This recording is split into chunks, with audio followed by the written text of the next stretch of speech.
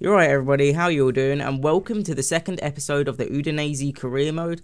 As you can see, the board have allocated us 500 grand for the sale of the Mizzi for uh, to Milan, and we also got some money from the tournament game or cup game which we played last episode.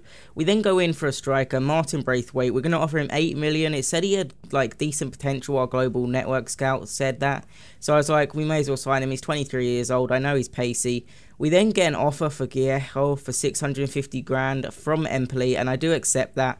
And uh, they, Toulouse, I believe that's how you say the name, uh, they accept 8 million, and then we offer a contract to Braithwaite for 30 grand a week, and he does indeed accept it.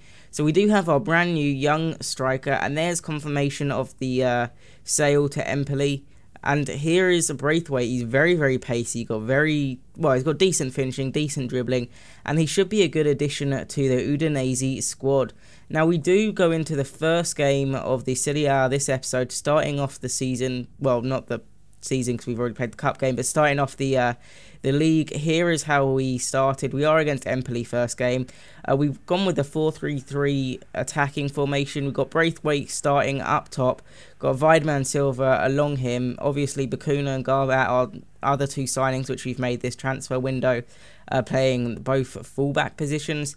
And here is our Empoli lined up. They unfortunately or fortunately uh, do not have the player we just sold them, but they are using a 4-3-1-2 setup. No wingers, so I was hoping we could exploit the wingers as we do have pretty pacey wingers.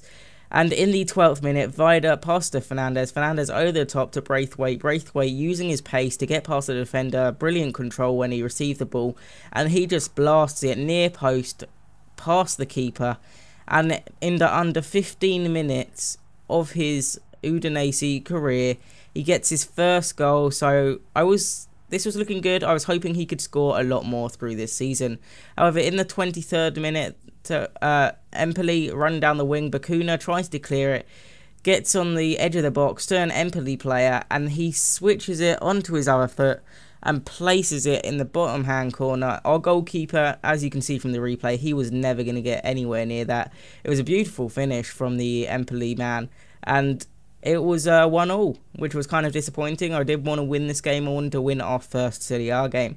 Now, in the 34th minute, Empoli back on the attack. They cross it in, and it was a brilliant save from the goalkeeper from the volley. However, the rebound falls straight back to the Empoli man, and he does indeed header it in the net, making it 2 1. And we are, for the first time in this game, losing. And that, that wasn't very. That was great.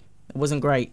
We did need to win this uh, first game. So, yeah, I wanted to have a good start in the league. And I want to try and get a good finish. So, Widmer in the 64th minute, he gets tackled in the box and it falls to Braithwaite. Braithwaite just slots it into the left hand corner it was an odd finish to be honest. He kind of took it with with the foot which I was not expecting to take it with. Took it with his right foot. I guess that's his strong one, but that is his second goal in Serie A and his second goal on his debut for Udinese. So his career was starting off very well. Now in the 77th minute, Empoli good play, but the shot goes straight into our goalkeeper's hands, and that is actually how the game ended. Two all. I mean, it's not the best start, but it's a decent start. Two all. We we dropped two points. I feel like obviously we were losing two one, but I feel like we should have won this game. We had a very decent team, but that was it. We had one point from the first game, and here we go into the deadline day. Very un- uneventful for us. We didn't sign anyone on the last day. We made three signings: Bacuna, Garbutt, and uh, Braithwaite, and that's what you're seeing right now. All of the transfers which we have completed, some of the uh, transfers which the club completed for us before we even got here. But then we go into our second game, and this is the biggest game of our season so far. We are against Juventus, who are currently in real life in the Champions League final. They won the cup, uh, not the cup, the league. Um, so yeah, it's going to be a, a, tough challenge. As you can see, they've signed Hugo Lloris in the uh, in the transfer window. We've got Chiellini, Tevez, Pogba, Vidal, Pirlo. That midfield is stacked. They do have one of our men, Pereyra, who is on loan at Juventus. So, you know, I was just hoping that he didn't score against us. And here is how we lined up. We did an unchanged side. I felt like we played decent last game, and I wanted to keep the same players out there, see if they could perform against the biggest club in Italy at the moment. And in the sixth minute, Pogba gets the ball inside the box, some lovely dribbling. He shoots. We've got a lot of men behind the ball, uh, but we do give it away to Pirlo on the edge of the box. Now Pereyra, the Udinese loanee, he he's on the ball, passes it inside to Tevez, passes it back to Pogba. Pogba passes it to Pereyra, and it goes out wide to Llorente, And Llorente really should have done better from mm, there. He should have troubled the keeper, but it does hit the side netting. Now in the 28th minute, Tevez with a beautiful header puts Juventus in front, and there was really nothing I could do about that. He beat the defender. I'm not really sure how because our centre half should be taller, should be able to win that header. But nevertheless, it was a beautiful header. Llorente crossing it in, in oh, it just goes off the underside of the bar. And them goals just look so amazing on this FIFA. They really do. In the 33rd minute, Llorente had a chance, but with it would have been 2 0, but a good save from our goalkeeper kept it at 1 0. Now, we go up the other end with Widmer, who had a clear cut chance, but unfortunately, the goalkeeper saved it. Now, in the 42nd minute, Arturo Vidal. He gave us a free kick 31 yards out, and Bacuna, I bring him, bring him in to be a fullback to defend, but he's got brilliant free kicks. And would you look at that for a free kick?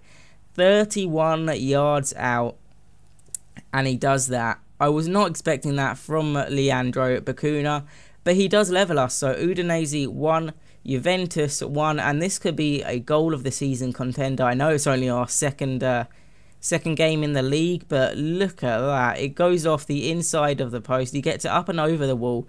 Inside of the post, Hugo Lloris has no chance getting there, and that's his first goal in Serie A. In the 45th minute, they do go ahead and score with Llorente to make it 2 1, but it did not count as the linesman holds his flag up and says it's offside. From the first the first time looking at it, it doesn't actually look like it's offside. And to me, it still didn't look like it was offside, but luckily we get the decision, and at half time we go in drawing 1 all. Now, in the 64th minute, they are on the attack. Pereyra getting a bit lucky. They have a shot and a brilliant save from our goalkeeper keeps it at 1-0. And in the 90th minute, dying moments of the game, Chiellini has an absolutely nightmare. An absolute nightmare, sorry, that, that was incorrect English.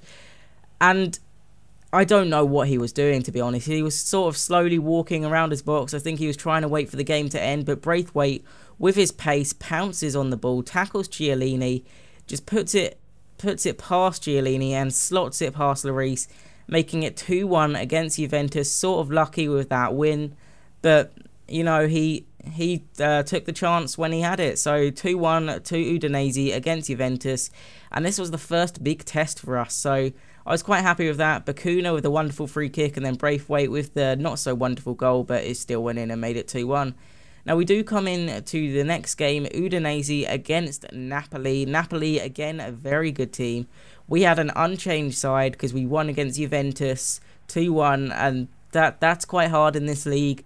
So winning against Juventus, I felt all the players deserved their spot and played the same team against Napoli, who are indeed another pretty good team in Italy. Uh, they've got a very good squad. Obviously, they got Gonzalo Higuain, the main man. He's he's an absolute monster in this game. They've got Mertens, De Guzman, Callejon. They've got a very good uh, attack going forward. Their defense, however, was not the greatest looking from this. But in the eighth minute, Fernandez he gets it into Widmer, and what a goal that was! A volley, he scoops it in pretty much with the volley on his left foot. I'm not sure if that's his weak foot or if that's his strong foot. I'll have to check that after the game. But what a strike that was on the volley and puts it past the keeper. I knew their defence was uh, was fragile, but I don't think most defences could have handled that. So that puts us 1 0 up in under 10 minutes. Now, in 36 minute, Braithwaite goes in the box. He has a shot deflected. Unfortunately, he didn't get it in. However, shortly after 38th minute, we pass it into Braithwaite, and I really don't know what this goal was all about. He did sort of a 180 turn, 180 degrees turn when he received the ball. It was a very weird finish, as you can see here, and then he just somehow generated so much power behind the ball. Did make it 2-0, so I wasn't I wasn't complaining, but it was a weird, weird goal, and that was his fourth goal in Serie A. After the uh, half, 65th minute, Napoli had a good chance passing it to Mertens, and they get the header off, but the goalkeeper our goalkeeper made a pretty decent save. Now in the 79th minute, we do go on the attack. Braithwaite using his pace, he cuts inside. All he has to do is shoot it, get it in. The goalkeeper saves it, and then I have no idea what our other player was doing there. He kind of slided, missed the ball, and unfortunately, we did not get a third goal. However, in the 84th minute, Napoli thought they had scored. It was a pretty decent cross. He kind of chipped it over the keeper or kind of bounced on the ground and went over the keeper. However, the linesman does put up his flag, and as you can see, the player who scored is is well offside, to be honest.